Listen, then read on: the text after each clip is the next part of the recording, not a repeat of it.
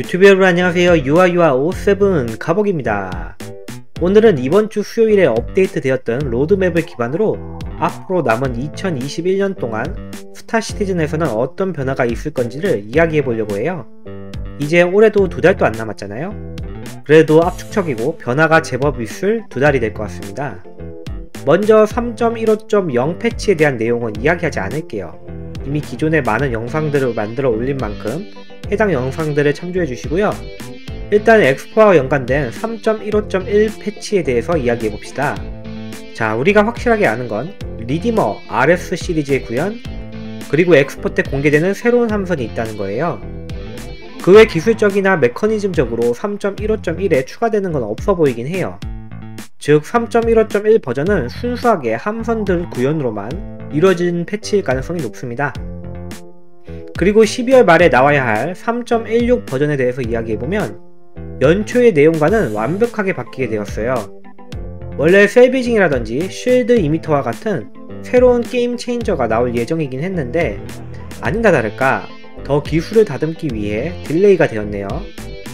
salvaging은 내년 1분기에 Squadron 42의 도입을 마치고 내년 2분기에 Star Citizen에 구현하겠다고 하고요. Shield emitter는 기약 없이 뒤로 밀렸고 오리진 M50 엔진 리워크도 밀렸고 함선 엘리베이터와 지상 높이를 맞춰주는 기술도 밀렸고 유저 캐릭터가 슬라이딩하거나 기어다니는 액션 파트도 밀렸고 총기가 결함이 생기거나 총알이 걸리는 것과 같은 휴대용 무기 관련 핸들링 게임 기술들도 밀렸고 아무튼 3.16 기존의 내용들은 거의 다 밀렸어요. 그러면 새로 추가된 것들은 무엇이 있냐?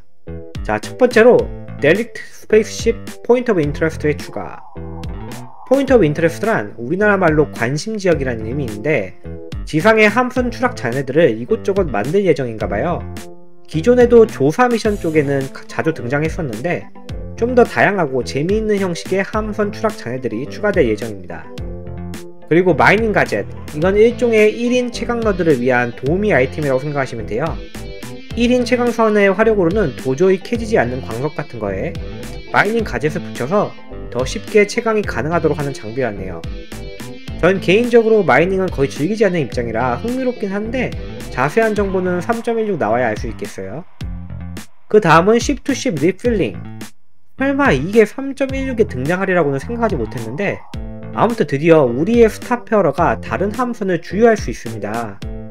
물론 모든 함선의 주유가 될 것 같지는 않고 일부 기능들이 구현된 함선들만 Starfarer의 주유가 될 것 같아요. 그리고 주유한 만큼 Starfarer 주인에게 돈을 지불하는 기능도 같이 구현될 예정인가봐요. Starfarer 오너분들은 3.16에 함선 잘 닦아두셔야겠네요. 그리고 아레나 커맨더의 다잉스타 맵이 리워크될 예정이고요. 이건 직접 나오면 확인해볼게요. Grav-Lev Physics Rework라는 기술이 들어오는데 이건 바로 그동안 속을 많이 썩였던 hoverbike 비행 물리 엔진을 rework하겠다는 거예요. 그동안 hoverbike는 너무 높게 hovering 한다던가 한번 뒤집히면 회복을 못하는 등의 문제가 많았잖아요. 그래서 사용이 기피되었는데 이번 3.16에 대대적으로 개선이 되려고 하나 보네요. 나름 기대하고 있겠습니다. 그리고 DNA Head Texture Update 뭐 간단하게 말해서 캐릭터 얼굴 모양 좀 더 잘 다듬고 customizing 옵션을 추가하겠다는 것 같네요. 좀 더 현실적인 사람 얼굴 custom이 가능해질 것 같아요. 그 외 기존 로드맵에 존재했던 Area 18 병원 구현과 상점가 NPC AI 개선, Hull C 함선 구현, 그리고 FPS용 레이저 지뢰와 같은 건 여전히 3.16에 구현 예정으로 살아남았습니다. 어떻게 곧 다가올 3.15와 함께 3.16 버전도 기대되지 않으신가요? 남은 두 달간의 짧은 기간 동안에 다 적용할 수 있을 건지 의문스럽기도 하시겠지만 이미 다 개발해 놓고 도입 테스트만 하면 되는 기술들만 남겨놓고 로드맵 수정을 한 게 분명할 것이므로 올해 마무리 패치 내용들은 더 이상 크게 변동은 없을 것 같아요. 그 외 로드맵 관련 포스팅을 보면 내년 일정들도 일부 추가된 것들이 있는데 이것들은 내년 초에 대대적인 로드맵 일정 정리가 있은 뒤에야 확신할 수 있을 것 같기 때문에 내년 초에 제대로 이야기해 볼게요.